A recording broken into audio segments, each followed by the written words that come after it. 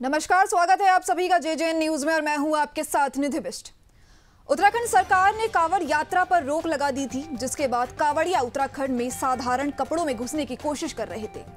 लेकिन उनकी ये कोशिश नाकामयाब रही। आपको बता दें कि सोमवार को 240 कांवड़िया हरिद्वार में गंगा का पानी लेने के लिए साधारण कपड़ों में घुसने की कोशिश कर रहे थे। जैसे ही इसकी खबर उच्च अधिकारियों तक पहुँची तो तुरंत इस पर एक्शन लेते हुए सभी कावड़ियों को वापस भेजने के लिए सरकार ने 28 स्पेशल बसेस और 8 रेलवे ट्रेन का प्रबंध किया।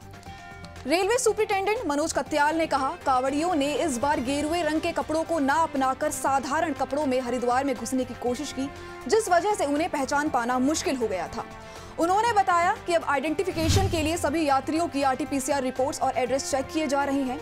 इसी के चलते सोमवार 240 कावड़ियों को पहचान पाया और उन्हें वापस भेजा गया। रेलवे अधिकारियों ने बताया कि कावड़ यात्रियों पर रोक लगाने की जागरूकता फैलाने के लिए स्टेशन में अनाउंसमेंट और पैम्फलेट्स बांटे जा रहे हैं। इसी के साथ उन्होंने ये भी बताया कि राजस्थान और गुजरात से हरिद्वार में डुबकी लगाने के लिए आए दो लोग कोरोना पॉजिटिव पाए गए, जिन्हें कोविड केयर फैसिलिटी हॉस्पिटल में भेजा गया है। तो फ़िलहाल आज की इस खबर में बस इतना ही। बने रहिए जे जे न्यूज़ के साथ। नमस्कार।